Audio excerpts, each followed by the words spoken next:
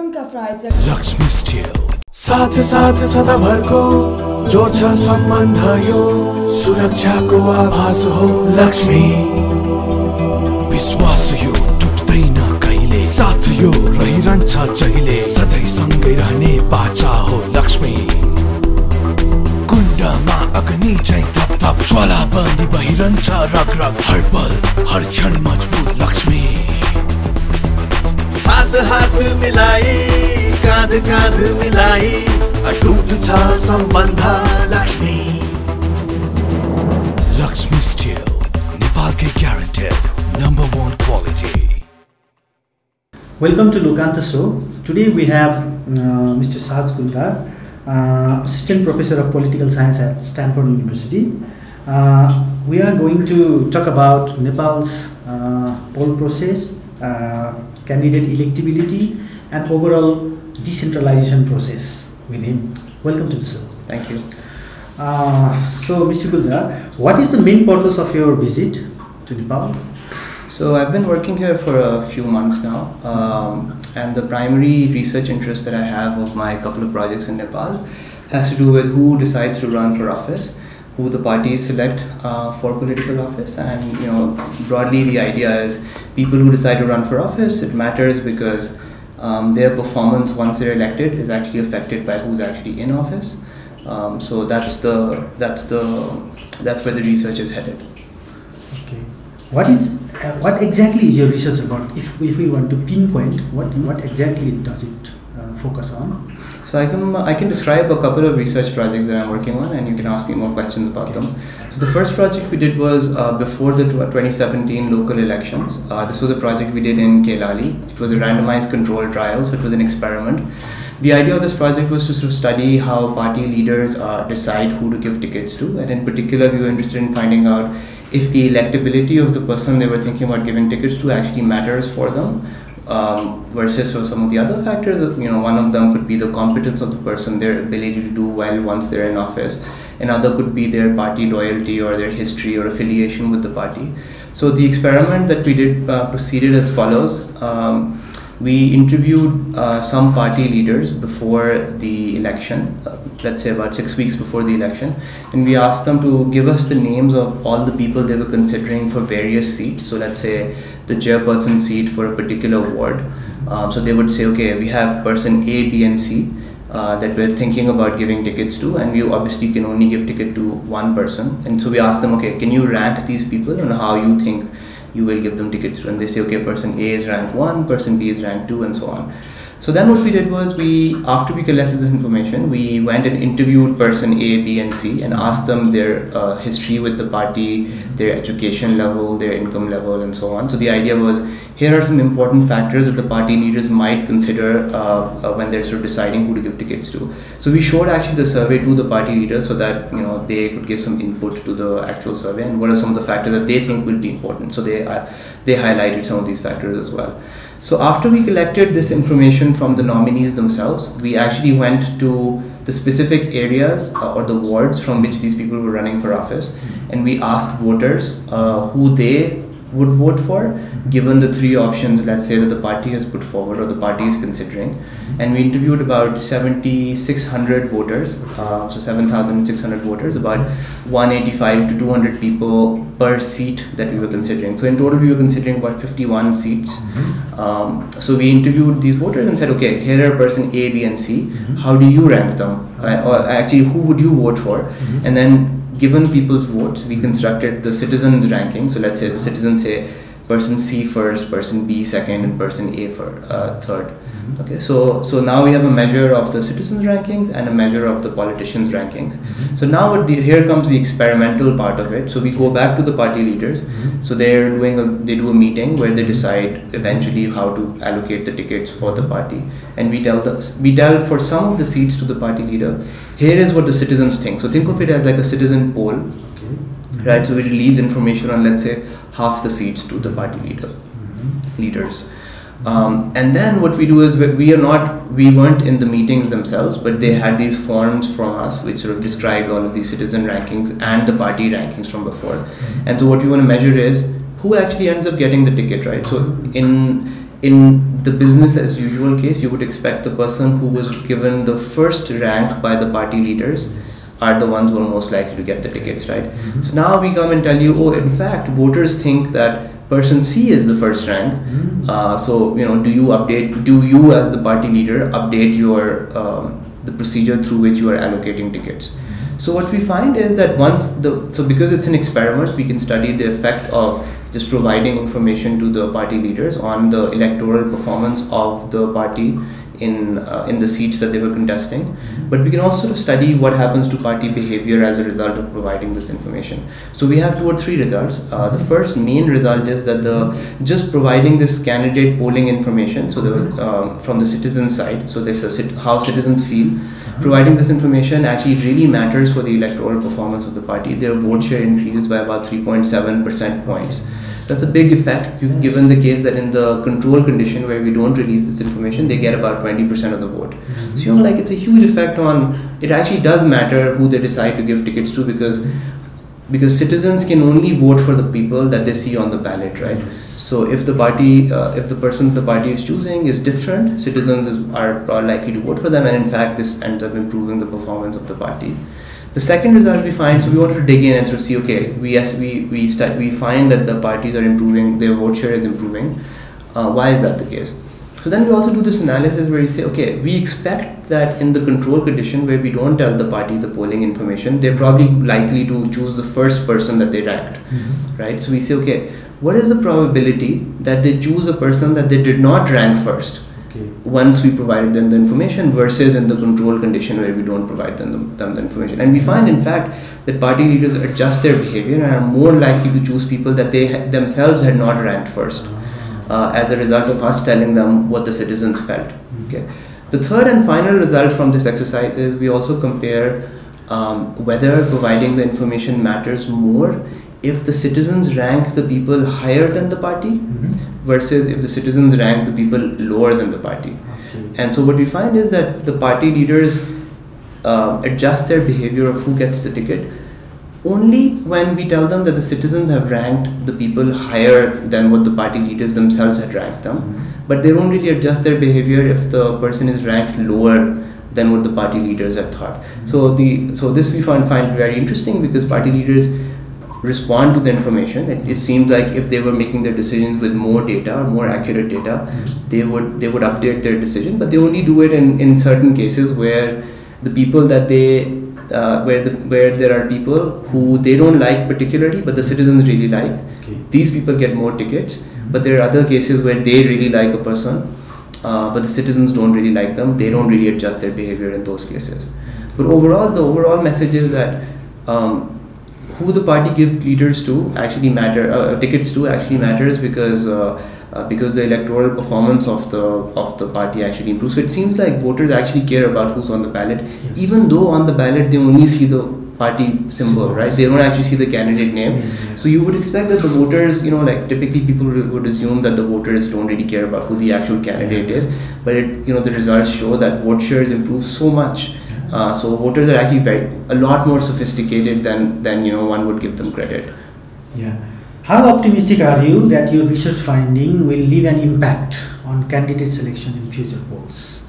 So that uh, remains to be seen. I mean, at the very least, I think the party is very responsive. Um, I'm having a meeting with them tomorrow. Okay. Um, so we'll, we'll discuss some of the results and we'll see what can be done in the future. In general, I feel like parties are pretty responsive uh, to sort of thinking about these kinds of things in Nepal. The few meetings that I've had with them, it seems like they're um, they're responsive to these ideas. Uh, but it is also true that you know data data driven uh, decision making is not the norm in most of these um, cases. And what made you choose this topic to research, to focus on? Well, I'm actually from Pakistan, so you know, as you might know, Pakistan also had these local elections for the first time in the country's history. Um, uh, people actually got to elect these local level village councils. It was a huge democratization reform because um, the province that I studied, the Khyber Pakhtunkhwa province in Pakistan, which borders Afghanistan, people could only, it's a province of 30 million people, and people only elected 125 representatives to the provincial assembly. That was the lowest uh, point at which they could elect people directly.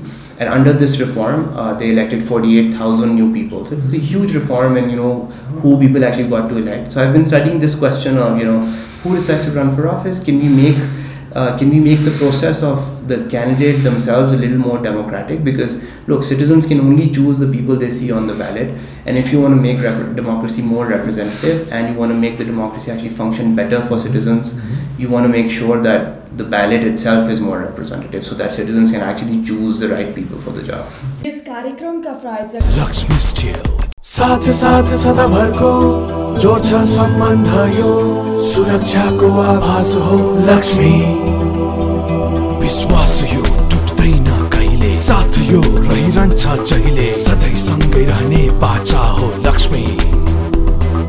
कुण्डमा अग्नि चाहिँ थप थप ज्वाला बनी बहिरहन्छ रग रग हर पल हर क्षण मजबुत लक्ष्मी। हात हात मिलाई काँध काँध मिलाई अटुट छ सम्बन्ध लक्ष्मी। लक्ष्मी स्टिल नेपालकै guaranteed number one quality. Have similar kind of researches been uh, done in other countries as well? I saw that uh, there was a similar kind of research in India, I guess, by Center for Policy Research or something like that. So you'll have to point me to that. Uh, so usually what happens is people look studying party leader behavior is very hard uh, from a research perspective especially if you want to do an experimental study um, it's uh, it's not always the case that party leaders are are accepting of the fact that you know maybe more data driven decision making might help them. Um, so you know researchers usually have difficulty accessing party leadership Yes. and also in general i think even in places where they do access party leadership usually the outcomes that they're trying to study is uh, are more sort of attitude no so you know if you're a party leader and i come up to you and i say okay here are two people you know fictional people. Mm-hmm. Look one person has 10 more years of education and the other one has 10 fewer years of education. Who would you give the ticket to? And then you say oh I give the ticket more to the person who's educated, more educated or not, and so on, right? So the responses that the party leaders give in sort of just a survey mm-hmm. Are usually what people study. So I think the really innovative part of this project in Kailali is that we work with a real political party, with real political leaders mm-hmm. who are making an actual decision. So it's their behavior that we're studying. Who are they giving the actual tickets to? It's not just what they say on a survey. Mm-hmm. And then I think the really critical part is who are the voters voting for, right? If it were the case that we did all of this and there was no effect on the on the electoral performance of the party, then it was like then the problem was a little harder because then we didn't know if it were the case that if party leaders make different choices, if it even matters for who shows up in office. Uh, but because the vote share changes, that really suggests that party leader behavior matters Yes. for who you see elected into office in Nepal. Yeah. Now it has been almost a year uh, after the polls, and uh, elected representatives have been working for a year. And but there are certain anomalies in their performances because they don't seem to know about internal management and decision making process. They are taking ad hoc decisions which may later be uh, uh, contradicted during management audit and all these things. What uh, what would you recommend that the government should do to uh, weed out these kind of anomalies?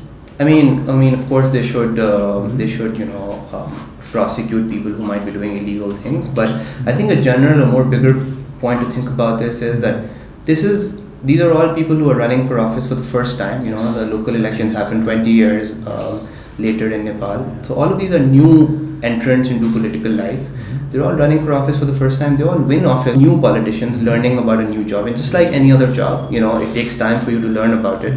So my advice would be to give them time. For, you know, like let them learn about their job and think about how to do it. I mean, it's, Nepal is not um, an anomaly in the way these things have happened. I mean, I, I, talk, I was talking about Pakistan. Mhm. It's been exactly the same there. You know, these are all people who are running for the office for the first time. Yeah. Of course, there are going to be issues. Many of them are going to be just passive forms of Yes. um, anomalies that you'll see. People just didn't know any better, or you know, like they're learning on the job as we go along. So my suggestion is uh, give them time. You know, I think electing people at the local level is incredibly important in how democracy functions and how it's able to deliver goods and services to, to, to, to the regular citizens in Nepal. So give them time. They're all learning about their job for the first time. Uh, it takes time to reach an equilibrium outcome. All, all everything you're seeing is sort of you know anomalies that you would expect from first time uh, first time um, uh, politicians who are just learning about the job. And just like any other job, you know, uh, they're learning about it. How hopeful are you that Nepal's decentralization process, federalization process will be successful? Because there are doubts that uh, it may not see, uh, it will not be successful. What do you mean by successful? Uh, it means that people have uh, certain kind of grievances uh, that uh, uh, the really the power has not gone to the center to the districts because center itself is exercising power over them and all these things. Therefore, people have certain kind of doubt that uh, it may not last long as well. So, I mean, I think there are a few ways to think about it. So, Mhm. if the counterfactual is that there should not have been decentralization, and you know like having decentralization is less successful in that sense i think then the question is pretty easy to sort of say because you know electing people so far up you know who are so far removed from you is probably not the best idea. You do need these local level councils Mhm. from which leaders who perform well can emerge and even give competition to political parties within their ranks right?